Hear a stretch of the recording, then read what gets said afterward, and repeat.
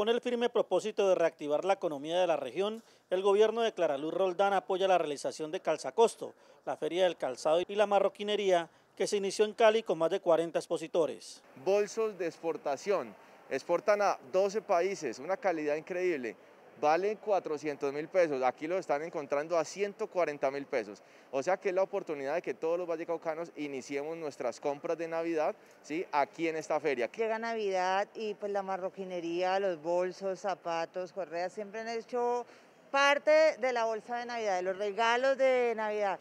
Además de los costos bajos de los productos, es la oportunidad para apoyar a un sector de la economía vallecaucana golpeada por la pandemia. Es una oportunidad que tenemos de mostrarle a los vallecaucanos la calidad de nuestro producto, que puedan conocer las marcas, que los usen, que estrenen en este diciembre. Los expositores agradecen el apoyo de la gobernación al sector de la marroquinería del Valle. Nos está capacitando, acabamos de tener un diplomado con la Universidad del Valle y ellos nos están impulsando, siempre han estado acompañando esta feria y sé que muchos empresarios a partir de todas estas ferias y todo este cambio que ha dado la pandemia vamos a tener que empezar a exportar.